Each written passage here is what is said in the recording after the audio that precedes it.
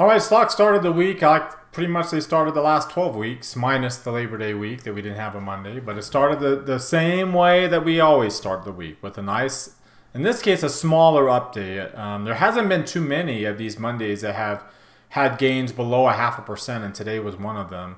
Uh, but it wasn't like your typical risk on day. So we're going to break down kind of what uh, what drove the rally, uh, like why it wasn't typical. There was some I mean, if you look at some relationships here, you would have thought today was actually a down day uh, in the market. So it was a pretty clear, uh, obviously it was up, um, but we're going to talk about why, kind of what drove that. And, and uh, there were some interesting sectors that led the way higher today too that you would not have expected considering how different markets are, are relating with each other.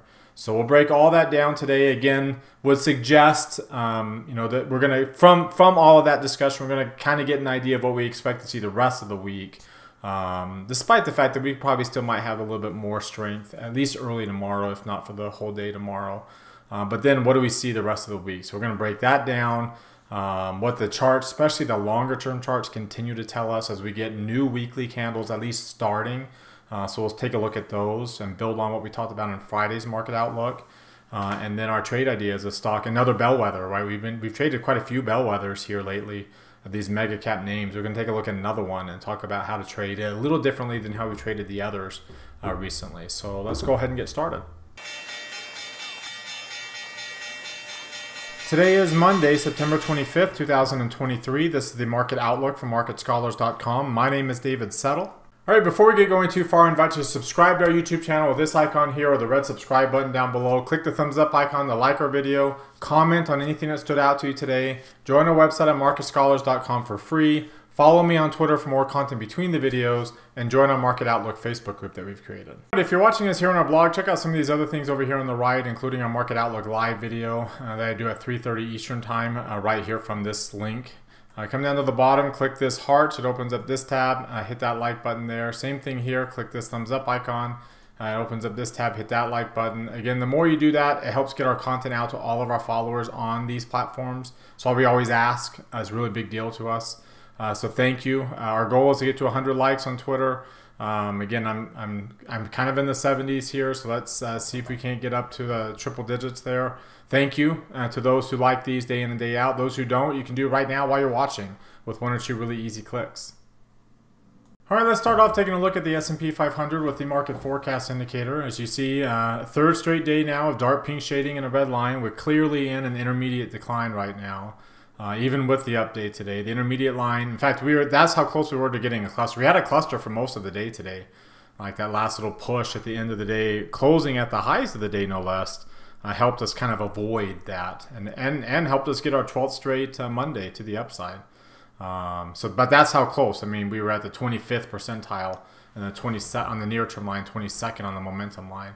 So, not surprising we get a bullish day today because I mean, shoot, the market it couldn't have been the short-term sentiment couldn't have been lower, um, uh, considering that it's been at extreme lows, at the extremes of the extreme, on uh, the last two days, consecutive days. So pretty good rally up there. Intermediate line is is uh, almost in the reversal zone itself, finished just above the 20th percentile. And then you have falling long-term market sentiment.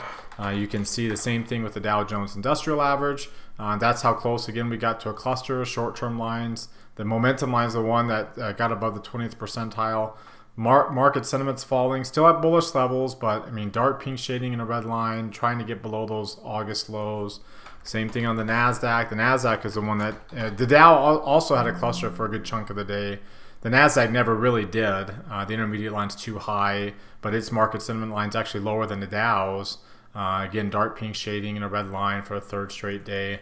Finally, your Russell 2000 um, you know, we had a six cluster today before the rally at the end. You know, it actually had rallied kind of more in the middle of the day for the Russell and then finished at the high. So avoided a six straight cluster that we did have early when we were gapping down. So kind of goes to show, and its market sentiment lines actually in the lower half of the chart now. So just like that, market sentiments in bearish levels. So we are, I mean, I mean, we did clear the August lows. We are pretty much pretty darn close to the um, you know, to like you know, these March lows where the, we're in this financial crisis, mini crisis, I guess you could say, with the regional banks. pretty clear bearish trends across all of these. And, and like I said, short-term sentiment bouncing up. And it's got a little bit more room to bounce up. So don't be surprised if we don't get a little bit more upside early this week, Tuesday, uh, maybe even into Wednesday. Um, as you see, the, the long-term chart still suggests bearishness. There's a pretty bearish candle there. Um, obviously, so far, I mean, the day, the week's not over. It's only one day, but a pretty low, obviously lower close, almost closing below the low of last week on a Heikin-Ashi basis, well below the 10-week moving average. We haven't crossed below that 40-week like we have on the Russell, right? The Russell really has. Like the Russell is giving us a death cross right now. We're at you know, 0.3% to the downside. Uh, pretty clear bearish candles there. I mean, that's that is a clear break of the 200 week moving average. The last time we had that was during the banking issues, and we're not getting any banking issues, nor are we getting the Fed able to step in right now and calm it like it did then uh, with more liquidity and, and, an increase in the balance sheet. So, so that's a pretty significant uh, move. Your Nasdaq, of course, is the one that that um, is is the least bearish, but you can see its PPO has been falling from its peak, which was a pretty darn high peak at double digits. It's it's been falling. It's almost cut in half now. I mean, we are clearly in at least a pullback mode. At least a pullback mode. And of course, getting below the 40-week moving average would suggest that we're more in a um, correction mode, right? As you head towards the 200-week uh, moving average. You get below that 40-week, and you're now you're not just in pullback anymore. So you're not there yet on the Nasdaq. You're you're a little bit you're still three you know you're a little bit closer to getting below that on the S&P um, your Dow Jones Industrial Average uh, you can see it's flirting with closing below the 40 week um, which again we haven't done since the banking issues.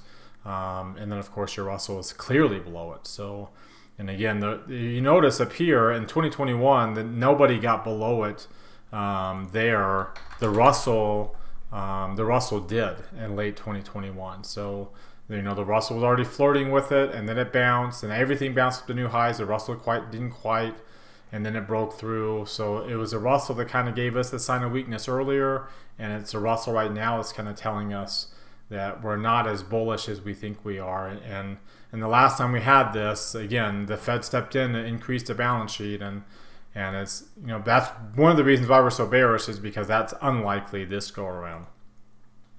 Obviously, you have three red arrows across the board. Um, that hasn't changed.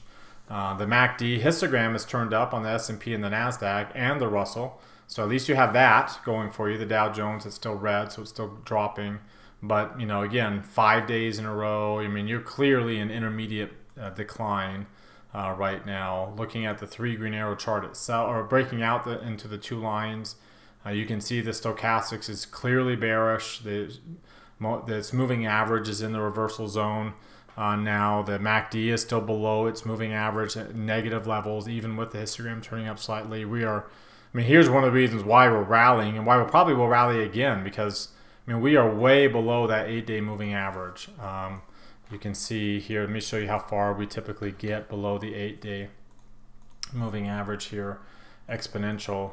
Um, if you let me go out so you can see the correction to uh, kind of see a bull market and a correction. So here is my cursor and you can see we generally got get this low, you know, kind of at the worst of pullbacks uh, or, you know, during the during correction stages. And, and especially especially when you're below the 200 day moving average is when you tend to get you know, more and more this bearish. In fact, if you notice, if you follow my cursor along, even in March, we were below the 200-day moving average. So to be this low above the 200-day moving average is not very common. Um, and so, you know, not surprising we're going to bounce up a little bit, but obviously a bounce up here doesn't necessarily change the trajectory. We, we've talked about before uh, getting into that gap. That's the key to, to kind of changing the trend, and obviously we didn't do that yet. Yet today. Well, there's still a good chance that we can do that.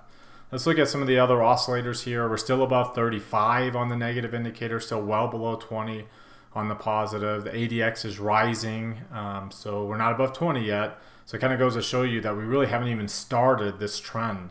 The Ichimoku cloud is at intermediate trend strength levels. Um, that's about usually how high we get during intermediate pullbacks on these lines. The rate of change is negative, but not very negative. Uh, we are below the cloud as we get to the pink levels. Um, So you know that's that's the S and P. Remember the Russell. You know we're a lot more. I mean we're close to mature um, bearish trend strength, way below the cloud, way below these lines. The rate of change is easily negative, so it's a much different story. And you know again, if we were if we look like this on the S and P, there would be you know gnashing of teeth on Wall Street there. Um, the RSI and the CCI you can see you're still at bearish levels, well below 40, um, still you know negative. And in fact when we barely finished the week below minus 100. We are clearly below minus 100 now. So this is, you know, this is correction levels on the CCI on a weekly basis. Like we are no longer in bullish mode. And, you know, during pullbacks, we don't typically get below the minus 100 during these nice little easy pullbacks. We get below zero, but we don't get below the minus 100. We only get below the minus 100 during corrections.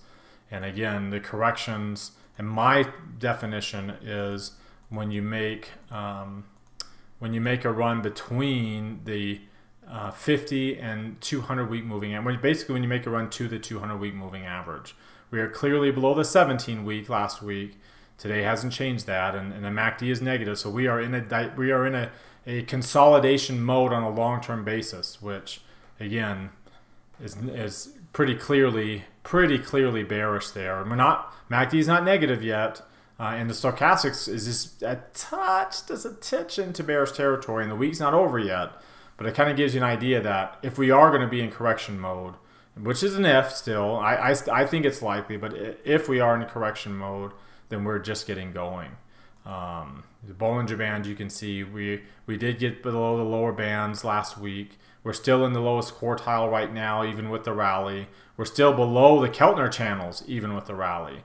Um, and I mentioned to you that gap there. That's when that's when we get bullish enough to change things. Getting back above 435 uh, for the Qs, which we did come close to getting into that gap. Getting back up above this 360 level. So you know we're not there. Obviously, even with the rally today, we're not there. We did finish above uh, Friday's close, uh, low point, excuse me. So that's a good sign. We filled in the gap from this morning. Uh, still was a lower high and a lower low and obviously we're not you know we're not there uh, so and we, we we got a new four week low again so we you know we're still at 100 uh, we're not to zero yet so before we can even consider that we're bullish enough to reverse the trend back to the upside we need to get the red line below 70 which means we need to stop getting new lows and and get up into this area and let this new low tag kind of get in, over here then we'd feel really good about being bullish and obviously that hasn't changed today, no matter how bullish we were. Um, again, it was the 12th Monday in a row, so it's not surprising we were up today. Uh, we talked about that on Friday's video. Uh, it was a half a percent to the upside. It was below average in the volume. We were below average on the range. So, again, when you know when we're bearish, these first bullish days are going to be really bullish. So that's not the case today. It wasn't really bullish. So it's not a trend-changing bullish day. Um, there was no kind of runaway gap today. There was no increase in volume or range. The, the VIX is still at rel relatively elevated levels. Still not it's still not where it needs to get to, to to finish this bearish move, but it's still at relatively elevated levels, and and you can see the VVIX as well too. So you know you know the VIX still hasn't made that seasonal push to the upside, um, and we are still very clearly depressed in the volatility, compressed in the volatility, even with this little rally. Um, there's still a ways to go to the upside. And again, we we typically finish near the the uh, this move to the upside by the end of October. We fin- typically finish it near the highs of the year. That would get it, that would mean that we're getting up to um, to the high the mid 20s, high 20s at least. Um, you know where we were at uh, during the March banking issues. Uh, remember that the S&P is actually kind of close to I mean it's kind of making a similar run in a lot of ways uh, to that March, but we're nowhere near making that kind of move higher in volatility. So again, there's that's still to come, and what kind of move is price going to make when volatility makes that big jump? Uh, we're going to start getting much bigger than average moves. Like like we're just flirting with one percent here. Um, when you look at the ATR, I mean we're still right at one percent Again, intermediate declines really take you towards this one and a half percent level, which means you're gonna start you're gonna get the ATR up towards like six or higher. and to get the average to that level, you're going to start getting big days with big volumes, and those typically aren't bullish at the start. They tend to be more bearish at the start, um, and then you start to get the bullish candles to offset them. This kind of candle doesn't come close to offsetting um, what we've been seeing so far in the week, and nor have we seen big enough, you know, drops to the downside that would suggest that we've like washed out uh, during this phase. All right, let's take a look at what's driving the price action. Again, you can see the three-headed monster, two of those heads um, uh, were working today. The dollar uh, and, and bond yields, commodities were down today. Uh, let's take a look at just today alone here. But but those are the that's the three-headed monster lately. It's been so bearish for equities. Um, here, let's move, go out to a five-minute chart. Obviously, bonds having a huge day to the downside today, down two and a half percent. Long-term bonds. Um, remember, this is 20 to 30 years. Um, you look at the dollar, the dollar was up today uh, pretty strongly, uh, but that didn't keep U.S. equities from being uh, from being higher. So that's not a very typical pattern. Commodities coming down probably helped that. I mean, they were off their lows, but still they were down for the day. Uh, international equities, of course, that's not surprising that they would underperform along with gold um, with strength in the dollar. Um, but those, I mean, that continues to be the predominant story is uh, the strength in yields uh, moving up now to 4.54%. Tremendous move to the upside. And going parabolic, which is not surprising. Um, you know, it's not like um, it's earth-shattering news there. Uh, the you know, as parabolic as it does get uh, in terms of its positive line, it doesn't get above 40 very much. Um, but that's a pretty strong move. Uh, if I were to zoom out so you can see some context uh, on this. Again, we did get up there uh, at the beginning of 2021 and inflation was, and when inflation kind of took off, right? That's when it really took off there. And, and the Fed should have raised rates there, and they didn't. Um, of course, hindsight's 2020, and uh, we were still we were still coming off of a big wave of COVID and excess deaths, and and so I think that was probably the main reason why they didn't. They were kind of hoping inflation was transitory, but that was a tremendous move in the cost of money there to the upside, and and we've had also we had some clusters here um, at the beginning of last year uh, when we started this correction, and we were getting a cluster again here recently. Uh, last week, getting a cluster. So really making a move up higher to the upside. You can kind of see what the weekly uh, version of this looks like. Here's TNX on the market outlook. There's your cluster uh, that we got. Uh, not quite a cluster yet this week, and it's kind of hard because you get gaps, but um, we'll keep our eyes on that. The dollar has been strong. Look at the intermediate line getting back into the reversal zone. You know, when they got into the reversal zone over here, it stayed up there for quite a while, uh, and then we had our run, right? We had the correction run. Uh, so here we are again, intermediate line on the weekly basis getting up into the upper reversal zone. Let's take a look at the daily chart. You can see we've been above 80 here, and we're really, I mean, we're breaking above that 38% Fibonacci level. Let me show you where that goes where that uh, comes from. It's uh, this rally that we had and the pullback uh, down basically to the 50% Fibonacci. We had one kind of fake out move to the downside, and then now we're back up above these recent highs from earlier this year, um, making our way back up uh, towards you know higher levels, uh, breaching resistance. And like I said, strong near-term lines brought the intermediate line up there and uh, the market sentiments hasn't even turned up yet. So, of course, with the intermediate line above 80, it makes it really easy for market sentiment eventually to get above 80 itself. Um, and so, I mean, we there's potential for a pretty decent move as you can take a look at this other weekly chart on the dollar. Um, the dollar here. Again, we're only a day into this week, so keep that in mind. But you can see how we're clearly um, bullish. I mean, we've been getting progressively higher closes on the Heikin Ashi close every time. Uh, higher highs as well. We already got the higher high this week. The PPO is rising. It's almost to one percent. Um, it's you know we're clearly in a golden cross environment here. Um, we're not we don't have the size of the candle, a very strong candle size yet, so we haven't really had like a big bust out move on the dollar. It's been really steady. Uh, which is partly the reason why um, that DMI is not necessarily parabolic. Um, the RSI is above 70 now, so that's a that's a rare move. Uh, again, let me zoom out so you can see that bullish trend on the dollar that we had. And we did get above 70 quite a bit during that bullish move, and here we are now for the third time uh, in August, getting above 70. Clearly above 60, so we're clearly in bullish levels, as well as the CCI is clearly in bullish levels. You know, we're above 60 now on the weekly chart, so we're clearly in a bullish trend there on a long-term basis, well above a positive 100.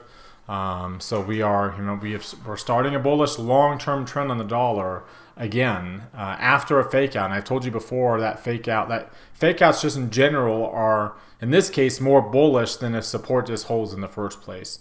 Because, it, you know, you sucked in. On, if you go back to that week of July 10th, there was a lot of people thinking the dollar was breaking down.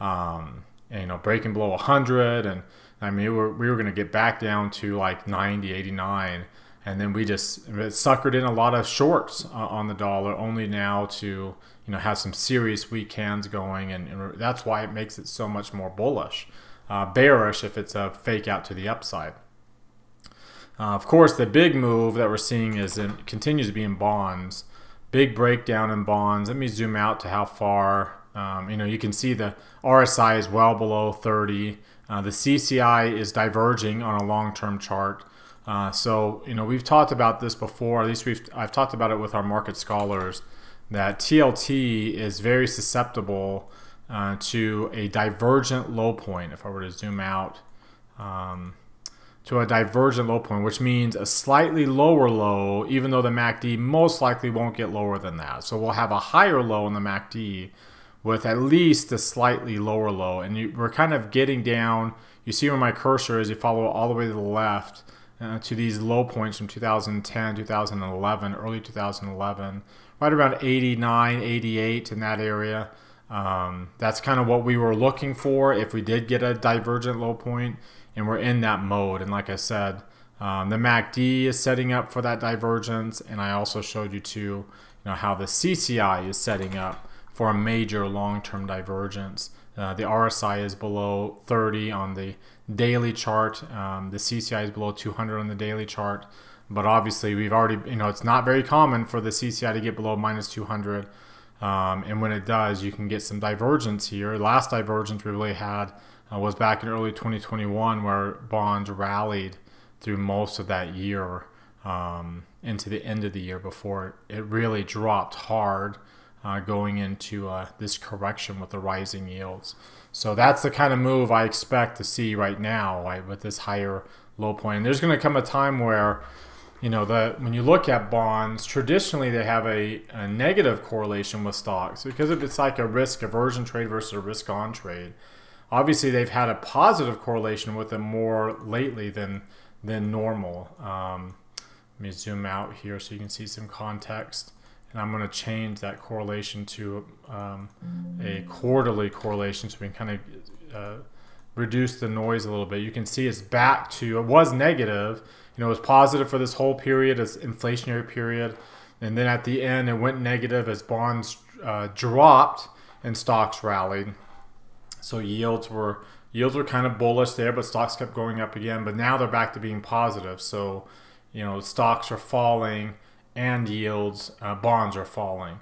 at some point in time, that's gonna like that's not gonna last, right? Because the um, when you get into a deflationary environment here, I'm gonna go to a weekly chart and and change this to a 13 week so we can see um, uh, the same quarter. You can see for the most part when you're in when you're in deflationary environment, the um, stocks and bonds move opposite each other. So it's not common for it to be uh, as strongly positive as it is. It is common during inflationary environments. And so now the question is, how much longer is this going to last? It lasted for a pretty good chunk of time there uh, in 2021, 2022, as we were in a pretty decent inflationary environment, uh, and, and suggests that we may be headed towards another inflationary environment again right now. Um, you know, especially with uh, bonds um, you know, breaking down as, as low as they are, um, you know, at some point in time, that's going to tip the scales to where uh, investors aren't. I mean, it's, it's a more of a risk aversion across the board, um, where the you know the dollar ends up being the safety trade along with gold instead of instead of gold. Uh, commodities uh, make their run, the last little bit of inflation, uh, make their last run higher uh, the Fed shifts towards rate cut scenario, and that's obviously not happening anytime soon. And if you notice, the the yield um, inverted yield curve is actually rising. I mean, it's really taken off today because the two year hasn't moved. The two year didn't move today. The three month obviously is not moving either. So the Fed's not going to cut rates or raise rates anytime soon. And there, and this suggests that the Fed's not really going to cut rates.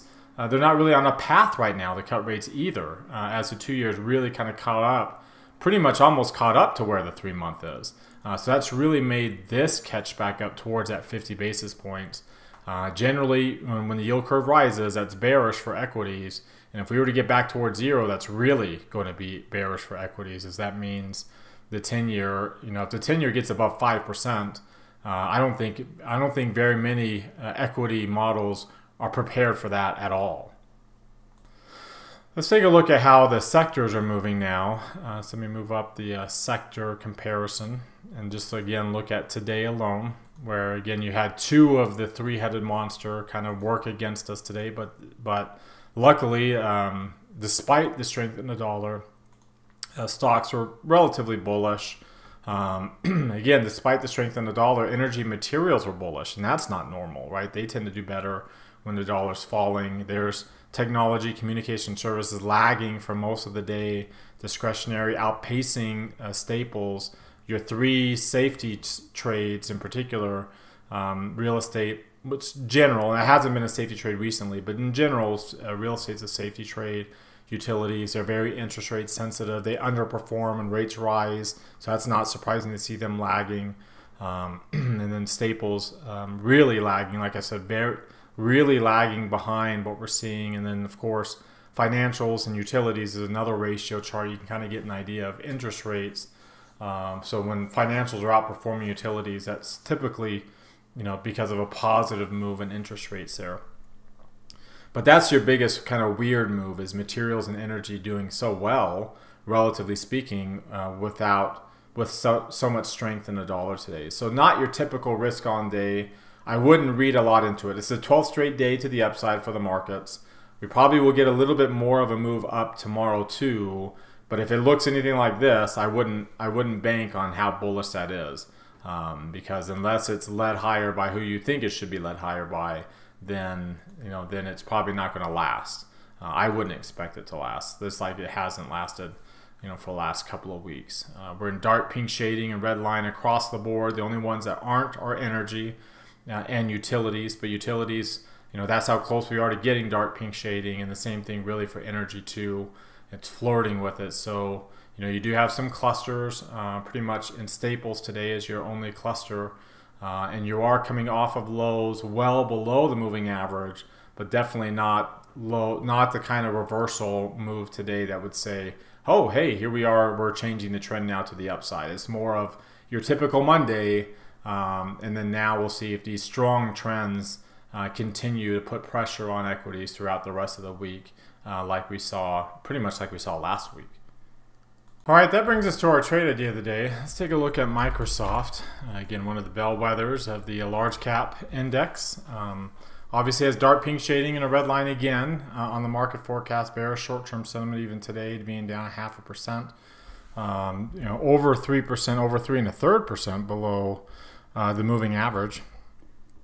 Uh, the intermediate line is coming down, uh, close to coming back down below its market sentiment line um, you know, as it's between 20. In fact, this market sentiment line is in bearish territory. Um, you know, this is that's a much more bearish long-term sentiment than what we see on on the indexes themselves. Uh, obviously, looking at its weekly chart, I mean, this this charts are going to look very similar to the S&P. Uh, you got the crossover last week um, below the 10 week. Its PPO has been falling a lot more uh, than the broad market, and it's got pretty sizable bearish candles right now. Not not the size you typically get during you know nice little even pullbacks here like you see over here. Um, so you know clearly a little bit more of a bearish sentiment than normal. Obviously you have three red arrows. That wouldn't be surprising. Uh, you do have um, you are below the 30 and 50 filling in the gap between the 15 to 200 have been for a while now um, the the 8 and 17 have crossed back below the 30 as we head towards the 200 Uh, we are back into the value area. We had been above it for a while. We're now back into the value area, which again, especially with the lack of volume, is gonna, there's going to be a pull towards the center of gravity, uh, which is actually way down here. But um, but that's you know when you're in the value area, that's what happens, right? You get pulled back towards um, the gravitational pull of that point of control where most of the volume has been trading. When you look at uh, some of these other oscillators, um, looking at the DMI, you can see a bearish crossover. Now we're not uh, we're not above 30 anymore on the negative. You're clearly below 20 on the positive, uh, so that's still an issue. Clearly bearish there. Uh, the RSI and the CCI have shown bearish patterns. We're easily below 40. Uh, we're you know we got almost below minus 200. So we are clearly bearish levels. Uh, when you look at the weekly version of the CCI. Remember, getting below minus 100 is kind of like correction levels, and we're not even near, near that. Remember, the S&P, uh, we actually are uh, working our way in that direction. Oh, excuse me, sorry, on the weekly. Let's go to weekly. On the weekly, uh, you see we are below minus 150 now this week. Actually, on the market forecast, uh, yeah, we are below minus 100 on on Microsoft. I think that was the monthly chart I was looking at. Uh, looking at the uh, Ichimoku cloud here, uh, as well as some of these trend strength indicators. We, have, we, again, we haven't even started the bearish trend yet, so that's. I mean, we have negative rate of change or below the cloud. The green line is. I mean, the price is below the green and blue lines. Um, the um, the green line though is still above its blue line, uh, so you still have that kind of working against.